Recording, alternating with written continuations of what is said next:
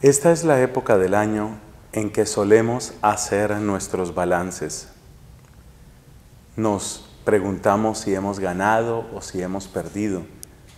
Las empresas miran cuidadosamente un estado financiero que se llama pérdidas y ganancias.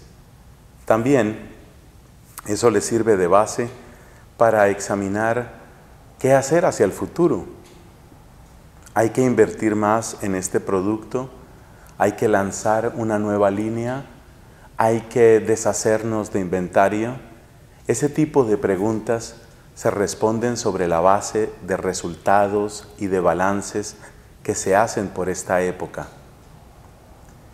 Pero también en un nivel personal hacemos nuestros propios balances y el riesgo tal vez es que nos quedemos únicamente con la parte exterior, la parte externa, la parte material. Por ejemplo, alguien puede preguntarse, a ver, recibí más dinero, tuve un mejor trabajo, estoy en una posición más alta dentro de mi empresa, esos balances tienen significado. Pero ahora quiero hacerte una pregunta. ¿Y qué pasa con otros aspectos de la vida? Por ejemplo, ¿qué tal un papá que se haga esta pregunta?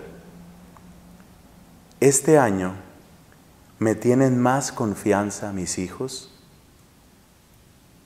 ¿O qué tal esta otra pregunta? ¿Este año avancé en mi fe? ¿O qué tal esta otra pregunta? Este año logré la reconciliación con unas cuantas personas con las que estaba de pelea. ¿Te imaginas la alegría de aquel que pueda hacer un balance y decir, este año tengo menos enemigos, este año tengo más paz, hay otras preguntas que también podemos hacer. ¿Qué tal la salud? ¿Fue este un año en el que te preocupaste por llevar una vida más saludable? ¿Por alimentarte mejor? ¿Por descansar mejor? ¿Por hacer un poco más de ejercicio? Eso también importa. Cuando la salud corporal se afecta gravemente, tiene consecuencias en toda nuestra vida y tiene consecuencias para toda la familia. Así que eso también nos interesa. Hacer estos balances en el plano personal tiene que servir también para las decisiones que tomemos en los próximos meses. Y no me refiero aquí a esos buenos propósitos un poco románticos que a veces hacemos. Esos propósitos que quedan muchas veces como una simple anécdota. Hay gente que hace propósitos sencillamente irreales. En el próximo año voy a perder 40 kilos. Quizás es irreal lo que estás diciendo.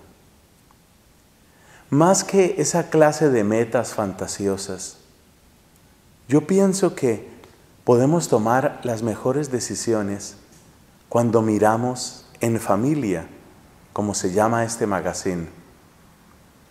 Es sobre todo ahí, en familia, donde se pueden tomar y donde se deben tomar las mejores decisiones. Que el año que empieza, tú lo declares en tu casa el año del diálogo. Vamos a hablar, este es un año donde vamos a crecer en la comunicación. O que sea también el año de la unidad de la familia. Necesitamos más tiempo juntos. El año del respeto. Y no se nos olvide que el Papa Benedicto pues nos invita a todos a que este sea el año de la fe.